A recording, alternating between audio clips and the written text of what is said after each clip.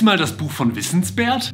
Okay. Ich habe gerade mal die ersten 50 Seiten gelesen und dann mal ins Quellenverzeichnis geguckt. In manchen Kapiteln ist einfach die Hälfte Wikipedia. Die Kapitel sind mir bisher einfach viel zu kurz. Man kann null in die Geschichten eintauchen. Ich habe das Gefühl, er hat versucht, seinen TikTok-Stil eins zu eins in ein Buch zu übertragen und für mich funktioniert das überhaupt nicht. Und fertig. Ich habe zwei große Probleme mit dem Buch. Also abgesehen von denen, die ich bereits genannt habe. Die Themenauswahl finde ich ganz schwierig. Das Cover vermittelt mir irgendwelche friedlichen, schönen, mindblowing Themen. Zum Beispiel, dass Bäume mit ihren Wurzeln untereinander kommunizieren können. Äh, Stattdessen gab es 90% Tod und Verderben. Die Welt hat einfach mehr zu bieten als Naturkatastrophen und Waffensysteme, fand ich sehr schade. Und jedes einzelne Kapitel klang vom Titel her wie ein Artikel der Bild-Zeitung. Das ist ein Buch und kein TikTok-Video und da muss wirklich nicht geklickbaitet werden. Von mir gibt es für dieses Buch leider nur anderthalb Sterne. Welches Buch soll ich als nächstes lesen?